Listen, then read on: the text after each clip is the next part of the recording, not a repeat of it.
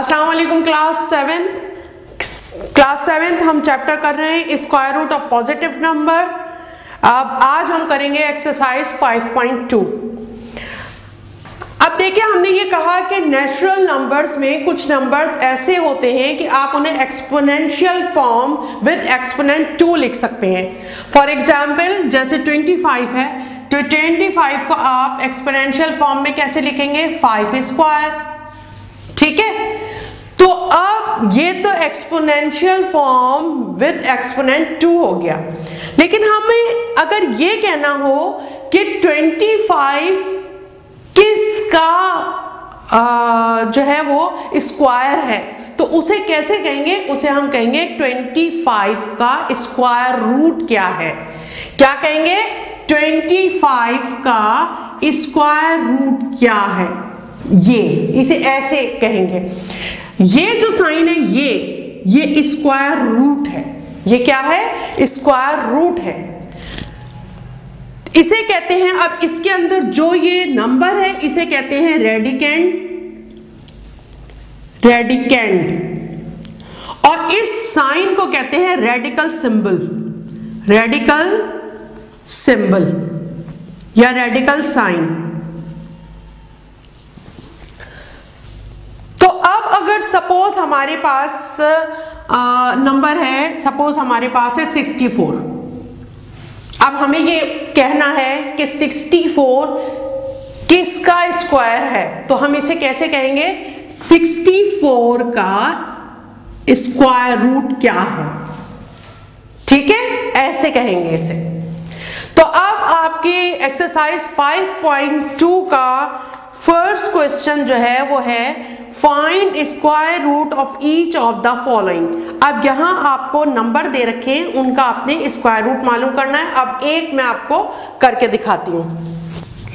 अब क्वेश्चन है आपके पास find square root of each of the following और नंबर इस तरह दे रखा है 25 तो अब इसका स्क्वायर रूट मालूम करना है। तो आपने क्या करना है? इज़ इक्वल टू लगाइए रेडिकल साइन लगाइए और इसके अंदर रेडिकेंट 25 लिखिए। इसको पढ़ेंगे हम 25 का स्क्वायर रूट इसे ऐसे कहेंगे। अब इसको किस तरह करेंगे? देखिए 25 किसका स्क्वायर है? 5 का। तो यानी इसका मतलब है 5 मल्टीप्लाई 5 टू टाइम लिखा जाएगा। इस पेयर में से एक को बाहर निकाल लेंगे तो आप कहेंगे कि 25 का स्क्वायर रूट है 5 एक्चुअल यहाँ कुछ नहीं है इस साइन के अंदर तो कहीं छुपा हुआ होता है इसके अंदर 2 2 का मतलब ये होता है, इसे इंडेक्स बोलते हैं. 2 का मतलब ये हुआ कि अंदर जो भी जो भी रेडिकेंड है, उसके आपने मल्टीप्लीकेटिव फैक्टर ऐसे करने हैं टू फैक्टर्स हो उसके। मल्टीप्लीकेटिव सेम टू फैक्टर हो तो उनमें से एक आप बाहर निकाल लेंगे। इसका मतलब ये होता है। ठीक है? तो यानी 25 था। 25 के टू मल्टीप्लीकेटिव फैक्टर जो है वो क्या है? फाइव मल्टीप्लाई फाइव एक आपने बाहर निकाल लिया, ये आपका आंसर हो गया। इस तरह इसे सॉल्व करना है। और अगर सपोज़ आपके पास क्वेश्चन इस तरह दे रखा हो, जैसे सपोज़ ए स्क्वायर या सपोज़ आपके पास है 36 स्क्वायर आप कैसे करेंगे? इसे पहले वही रेडिकल साइन के साथ लिखिए। यानी इस तरह लिखिए इसे। अब जब ये स्क्वायर है तो यहाँ पर भी ऐसे ही लगेगा। इसका मतलब ये हुआ कि अब ये 36 टू टाइम मल्टीप्लाई 36 ठीक है? फिर इस पेयर में से एक बाहर आ जाएगा। ये आंसर हो गया। तो हम कहेंगे कि 25 का स्क्वायर रूट है 5 इसी तरह 36 स्क्वायर का स्क्वायर रूट है 36 ठीक है? अब इसका नेक्स्ट क्वेश्चन है find square root by factorisation and division method अब कोई भी अगर आपके पास नंबर दे रखा है, उस नंबर का स्क्वायर रूट अब ये तो छोटा सा था ना तो आपने करके निकाल लिया। लेकिन अगर सपोज़ आपको कोई बड़ा नंबर दिया हुआ है, अब उसकी फैक्टराइजेशन कर कर बाकायदा फिर स्क्वायर रूट मालूम करेंगे। देखें कैसे करते हैं। देखिए, मैंने एक आप ही की बुक से ले लिया है। Question number question number B का एट ठीक है? अच्छा अब इसकी प्राइम फैक्टराइजेशन करते हैं टू थ्री ज़ीरो फोर अब देखिए, या देखने से पता चल रहा है कि टू से जा सकता है। Two one time is two two one time is two two five time ten और टू टू टाइम फोर ठीक है? अब उसके बाद फिर टू से जा सकता है। टू, फाइव टाइम टेन और टू सेवन टाइम फोर्टीन और टू सिक्स टाइम ट्वेल्व। आप किससे करते हैं? अब, अगर थ्री से करें इसे, टू से ही कर लेते हैं। टू टू टाइम फोर और टू एट टाइम सिक्सटीन और टू एट टाइम सिक्सटीन। ठीक है? फिर टू से कर लेते हैं। Two one time two two four time eight और टू फोर टाइम एट। ठीक है? अच्छा अब इसके बाद हम करते हैं, फिर टू से कर लेते हैं। टू सेवन टाइम फोर्टीन और टू टू टाइम फोर ठीक है? अब इसे कर लेते हैं। देखिए पेयर बनते जा रहे हैं। ये पेयर हो गया, ये पेयर हो गया। अब टू से करते हैं टू थ्री टाइम सिक्स और टू सिक्स टाइम ट्वेल्व ठीक है? तो ये पेयर बन गया। सही है? अब उसके बाद थ्री वन टाइम थ्री और थ्री टू टाइम सिक्स और थ्री फोर टाइम ट्वेल्व और तो ये भी पेयर हो गया। टू टू टाइम फोर और फिर टू वन टाइम टू ये टू का भी पेयर हो गया। अब सेकंड स्टेप आपने क्या करना है कि ये जो आपने पेयर बना लिए हैं, आप इसे अंडर रूट के अंदर आप ये सारे पेयर लिखेंगे। देखिए टू के कितने पेयर बने? One two three four four pair बने टू के। वन टू थ्री फोर इससे कोई फ़र्क नहीं पड़ता अगर आगे पीछे मैंने पहले थ्री कॉपी करने के बजाय टू कर लिया, इससे कोई फ़र्क नहीं पड़ता। थ्री मल्टीप्लाई थ्री ठीक है? देखिए। One one two three four five six seven eight eight time जो है वो टू है. One two three four five six seven eight और टू टाइम थ्री है. ठीक है? आप देखिए, अब आप इसके पेयर बनाइए.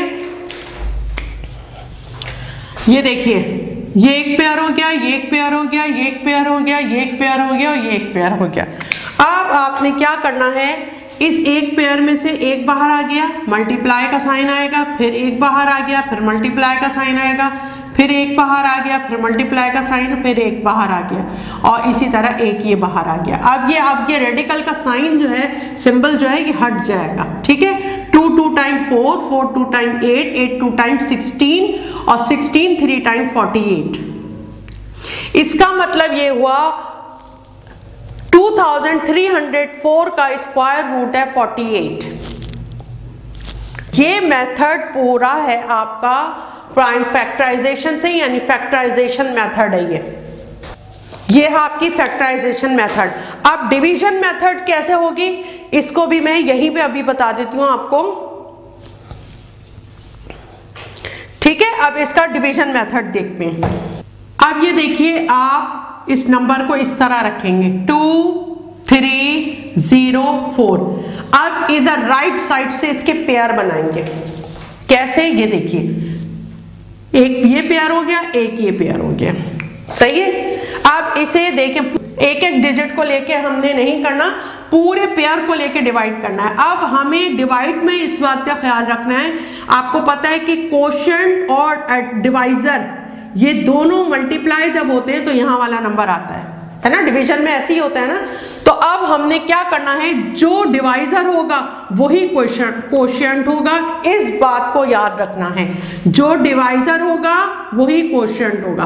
अब देखिए 23 अगर हम ट्वेंटी थ्री को अगर हम टू को करेंगे तो वो तो नहीं होगा, टू टू टाइम, फोर होगा तो वो तो बहुत ही कम हो जाएगा। अगर हम फाइव फाइव टाइम करते हैं तो यहाँ ज़्यादा हो जाएगा तो इसका मतलब है अब हम फोर से करें। यानी यहाँ पर अगर अगर डिवाइजर फोर होगा तो इसका मतलब है क्वेश्चन बी हर हाल में आप फोर ही रखेंगे। Four four time sixteen minus कीजिए लाइन लगाइए। अब देखिए थर्टीन में से सिक्स को माइनस किया, क्या बचेगा आपके पास? सेवन ठीक है? अब वन में से वन जाएगा, कुछ भी नहीं बचेगा। अब यहाँ क्या करना है, जब आपने फोर यहाँ पे डिवाइजर रखा है, और यहाँ पर क्वेश्चन भी फोर ही रखा है, इस फोर में मजीद फोर ऐड करेंगे, यानी कि जो डिवाइजर होगा वही ऐड भी हो जाएगा। तो क्या हो गया? फोर और फोर एट हो गया ये। ठीक है? अच्छा अब यहाँ से पूरा पेयर नीचे आएगा।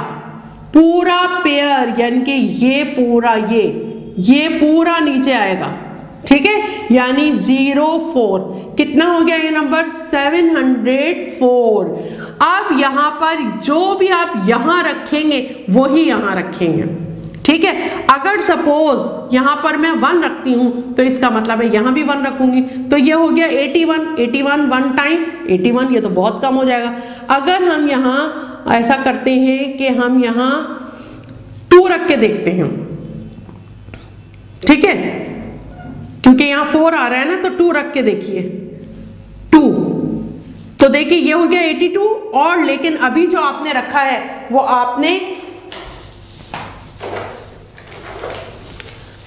वो आपने ये वाला रखा है है ना? तो यानी 82 टू टाइम 82 टू टाइम कितना बनेगा? 164 ये तो बहुत कम है। तो अब यानी यहाँ ज़्यादा आपने कोई नंबर रखना है। ठीक है? अब जब ज़्यादा रखना है तो इसका मतलब है हम यहाँ एट रख के देखते हैं। ठीक है? आप ये देखिए। 88 यहाँ फोर से पता चल रहा था, लेकिन मैं कर करके आपको इसलिए बता रही हूँ कि आपको समझ आ जाए बात। आप देखिए, ये हो गया 88 और ये तो आप कर चुके हैं ना इसकी तो मल्टीप्लीकेशन तो अब 8 से करना है आपने। ठीक है? तो 88 8 टाइम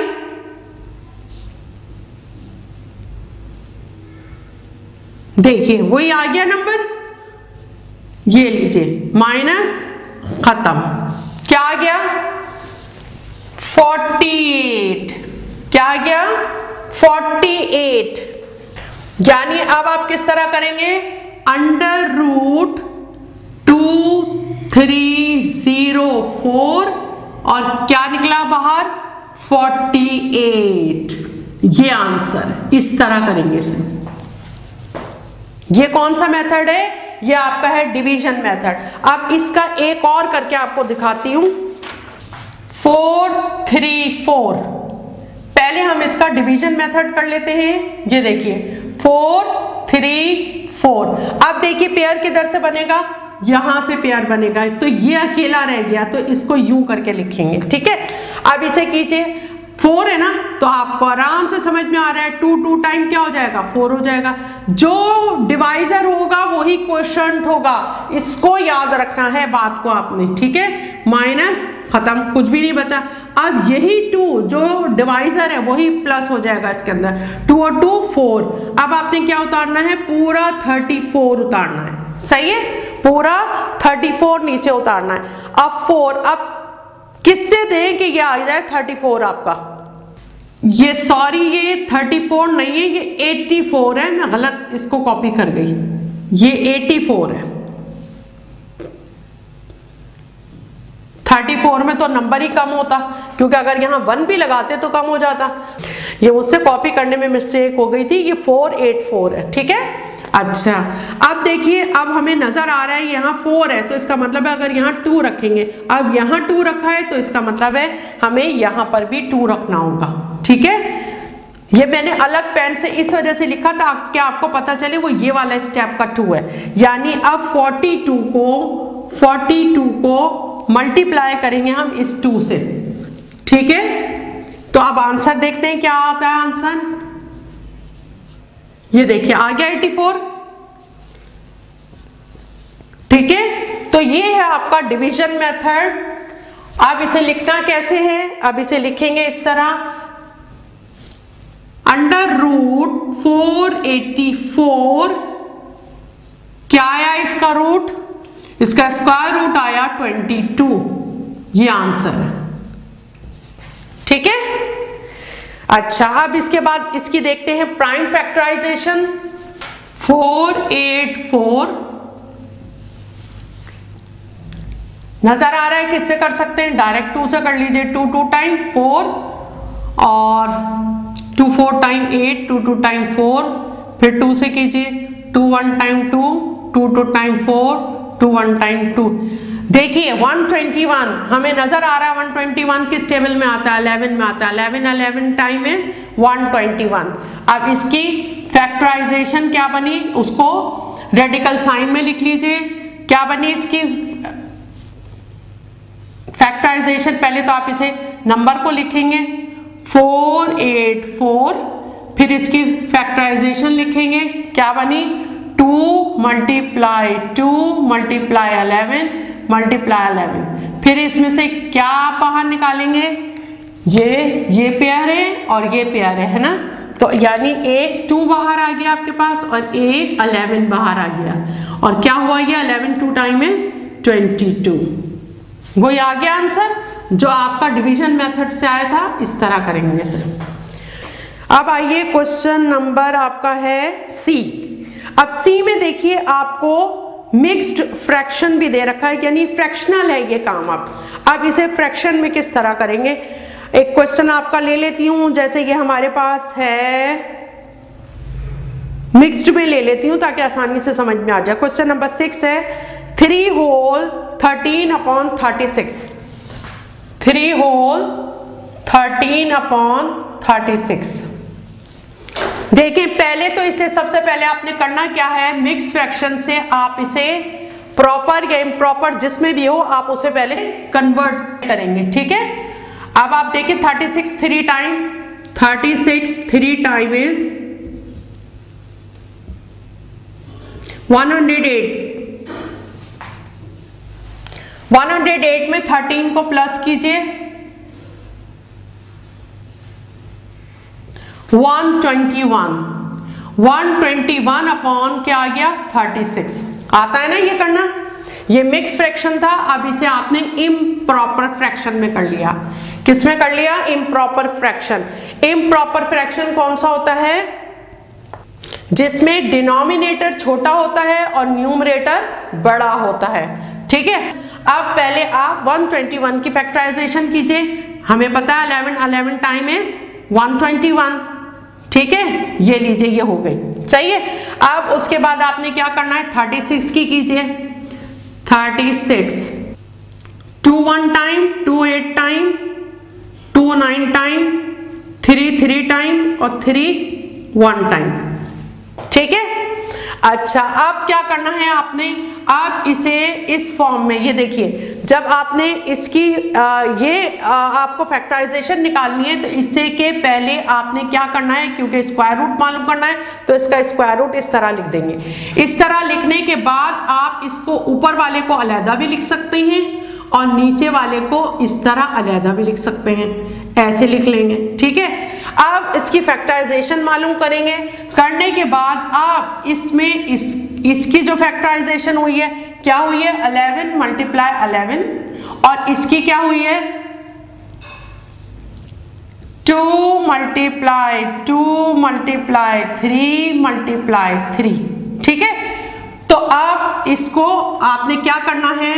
ये देखिए 11 बाहर आया है यहाँ पे और यहाँ पे क्या बाहर आया? टू मल्टीप्लाई थ्री एक स्पेयर में से और एक स्पेयर में से ले लिया आपने बाहर। क्या आंसर आ गया आपके पास? आपके पास आंसर आ गया 11 अपॉन सिक्स ठीक है, ये इम्प्रॉपर फ्रैक्शन है। अब इसे मिक्स में अगर आप शिफ्ट करेंगे तो देखिए।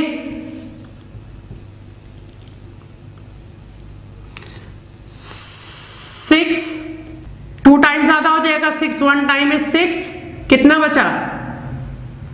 फाइव तो क्या आ गया आपके पास? ये क्वेश्चन बन क्वेश्चन आपका होल नंबर में आ जाएगा रिमाइंडर यहाँ आ जाएगा और डिवाइजर यहाँ आ जाएगा। ये आपका आंसर हुआ one whole five upon six देखिए पूरा ये पैटर्न आपने फॉलो करना है काम करते हुए। ठीक है? गौर से देखिए क्या किया है पहले मैंने। सबसे पहले मिक्स फ्रैक्शन था, उसको किसमें कन्वर्ट किया है आपने? इम्प्रॉपर फ्रैक्शन में, ठीक है? फिर उसके बाद उसके ऊपर रेडिकल साइन लगाया है, फिर ऊपर वाले का रेडिकल साइन अलहदा कर लिया, नीचे का अलहदा कर लिया, फिर उसके बाद उसकी फैक्टराइजेशन प्राइम फैक्टराइजेशन मालूम करनी है, फिर उसके बाद उस फैक्टराइजेशन को आपने रेडिकल साइन में रखना है फिर उसके बाद एक पेयर में से एक बाहर निकाल लेना है। और आगे मजीद अगर डिवाइड हो रहा है तो मिक्स फ्रैक्शन में आंसर ले आए। ठीक है? तो ये इस तरह आपने करना है। ये तो आपका है फैक्टराइजेशन मेथड अब इसी को आप किस तरह करेंगे, उसमें डिवीज़न मेथड में अब इसको कैसे करेंगे, वो मैं बता रही हूँ। अब देखिए क्या करना है। डिवीज़न मेथड में वही आपने इस तरह करना है। 121 को यहाँ रखिए। आप पेयर बनाने, ये देखिए, ये एक पेयर बन गया। राइट से आपने करना है, ये पेयर बन गया, ये अकेला हो गया, ठीक है? अब इसका मालूम कीजिए, देखिए, जो क्वेश्चन होता है, वही आपने डिवाइजर रखना है, ठीक है? One one time is one minus cancel हो गया, ठीक है? अब इसमें यही डिवाइजर प्लस हो जाएगा क्या आ गया टू आ गया। अब ये पूरा पेयर यहाँ उतार लीजिए। अब नज़र आ रहा है कि अगर इसे वन टाइम करेंगे अब इसे अगर वन टाइम करेंगे तो ये देखिए, यही वापस आ जाएगा, है ना? तो यानी 21 वन वन टाइम इज़ 21 ठीक है? माइनस ये लीजिए, हो गया। अब 36 का करना है आपने। 36 ठीक है? पेयर बनाइए। ये लीजिए, ठीक है? पेयर बन गया। अब ये हमें नज़र आ रहा है पूरा 36 किसमें आता है? सिक्स के टेबल में आता है। जो क्वेश्चन होगा वही डिवाइजर होगा। Six six time is 36 minus ये लीजिए हो गया। सही है अब इसे क्या करना है? देखिए 121 का क्या आया आपके पास? 11 तो यहाँ आपने रखना है 11 और 36 का आपके पास क्या आया है? 6 और जब आप मिक्स फ्रैक्शन से करेंगे तो आ, क्या आंसर आएगा? One whole five upon six division method को इस तरह करना है। बिल्कुल यही पैटर्न फॉलो करेंगे और जो अपने टीचर को फॉलो करता है, वो फिर बहुत सीखता है। और जो अपनी अपनी चलाते हैं बच्चे, उनकी गलतियाँ होती हैं फिर। ठीक है? तो ये आपका था क्वेश्चन सी